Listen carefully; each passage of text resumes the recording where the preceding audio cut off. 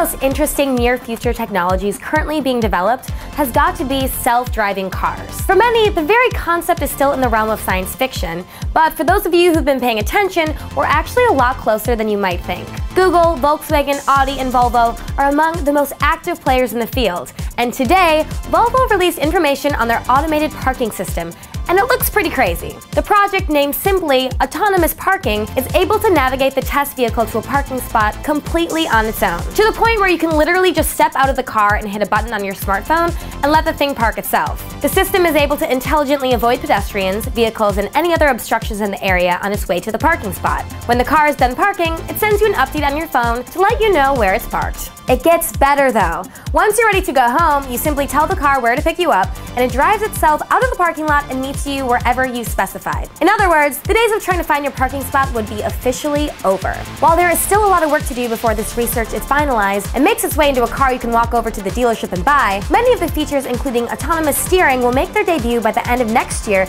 in the Volvo XC90. And that's it for now. Let us know your thoughts on Volvo's autonomous driving system in the comments below, and we'll see you next time on another episode of Big Shiny Things.